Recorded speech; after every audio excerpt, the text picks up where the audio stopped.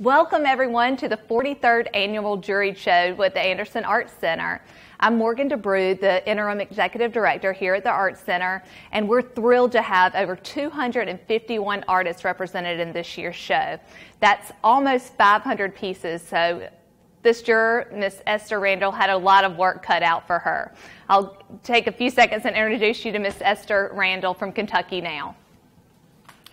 Thank you, Morgan. Uh, I am so gratified and happy to be here. My name is Esther Randall. I am a professor at uh, Eastern Kentucky University in Richmond, Kentucky. I'm also the gallery director. So I have some experience in looking at art and selecting art.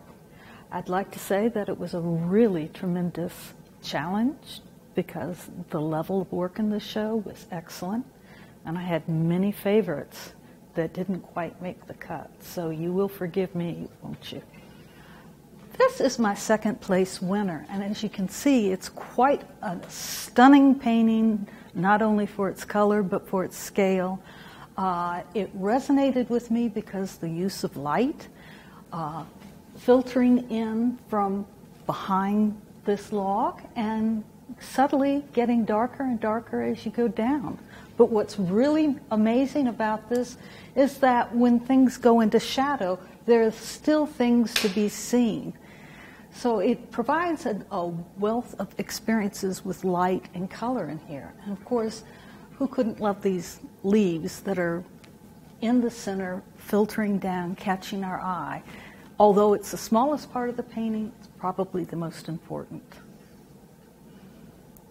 When I first was during this show, I had no idea that this would be my first place winner. It was not my favorite. But the more I looked at this piece, the more intriguing it became. Uh, one is seduced by the beauty of the yellow flowers, the red vase, the blue vase. But as one begins to look more closely, one begins to see the eyes of the man sitting very rigidly behind this and almost a confrontational, accusing look. And that gives it a, a mystery, a deep mystery um, about what's going on. Where we come in and we look at the title of its ritual, we see the place setting and the pair. Why a pair? There. Everything's carefully chosen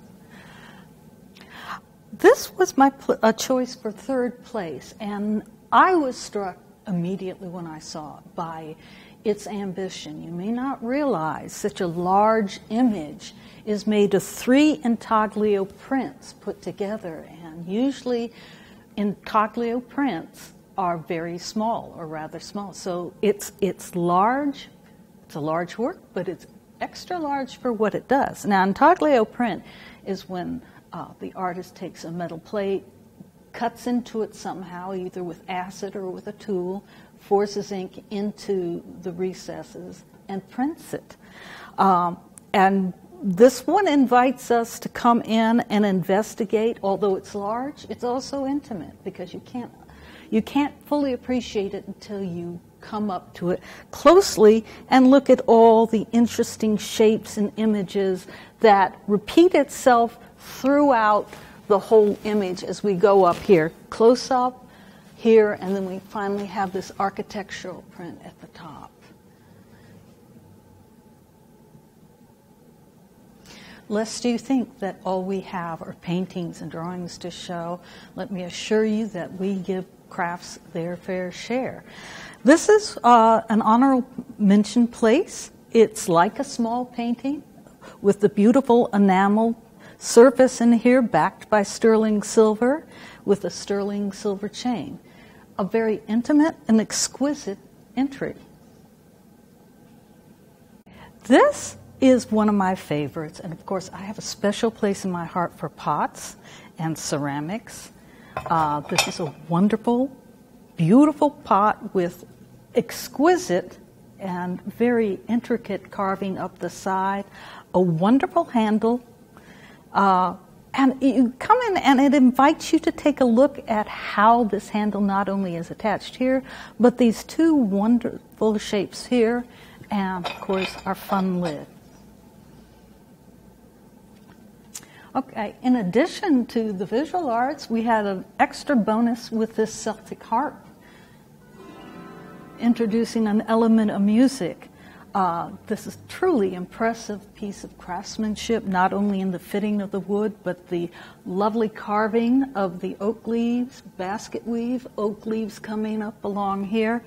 And you must go take a look at the back because in the sound holes, they're absolutely stunning. Uh, a wonderful, wonderful piece. And here's the leaf.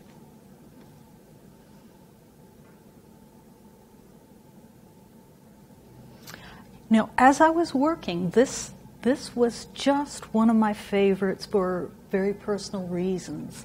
Uh, the trees, the dark trees, weight everything, hold our attention in place, but then we notice that there's a beautiful sense of light, a gradation of light coming from one hill to another, coming down all the way down here. It's just a beautiful composition with this line pulling us in.